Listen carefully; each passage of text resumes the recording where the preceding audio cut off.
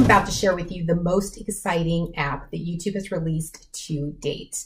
The latest YouTube app is called YouTube Create. Why is this so exciting? Well, if you're a video editor, especially short form video editing, you're going to be super excited about this because it's the most robust video editor for your mobile device that I've seen to date especially if you're looking for a free version for video editing. And it's only available for a select group of individuals, which I will talk about at the end of this video. Why is this so exciting? I'm actually going to walk you through a demo of all the features that are available and why you should tune in. I guarantee there's going to be one thing in particular that you're definitely going to want to know about and use. So let's go ahead and jump in.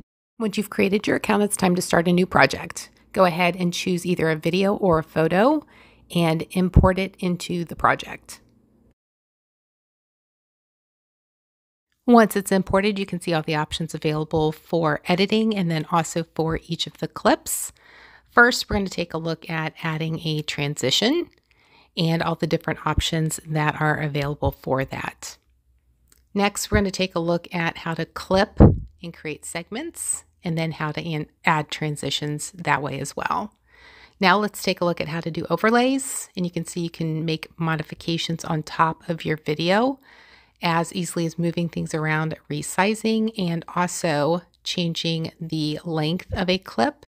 Next, you can add filters and you can see all the options available for that. Next are the effects, and you can add all kinds of different effects. You can also adjust your clips and add animations.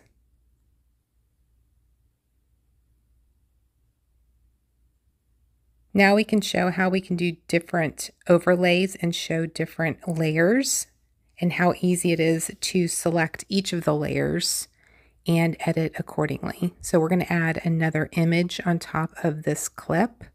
And now you can see there are two different layers here and they're very easy to select. Now let's look at adding text. And you can see here that you can add your text super simple by using your keyboard.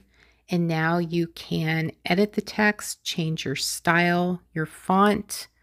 There's a wide variety of font styles to choose from. You can change the color. You can change the background color. And you can change the formatting of it. Even add an outline or shadow. Finally, you can add animation, which just adds an extra flair. Next, you can add stickers, you can add GIFs, and you can even add Bitmojis. Next, you can add sound, which is audio or music, sound effects, or if you have your own music, you can import that as well and use it. It's important to note here that all of this is copyrighted, so you won't take any chances on being banned or get a copyright strike on anything that you use within YouTube as long as you post it to YouTube.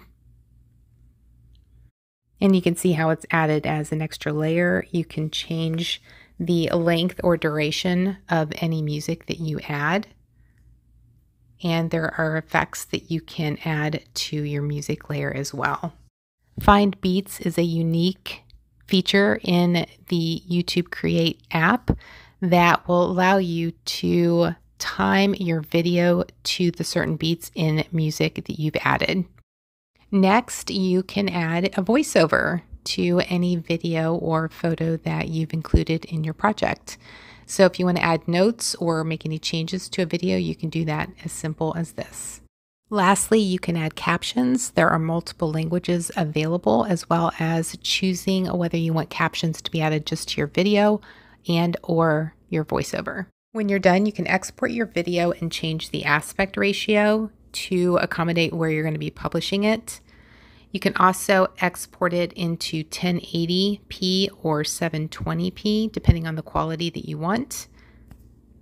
Then you can share it directly to YouTube, whether it's a short or a regular video.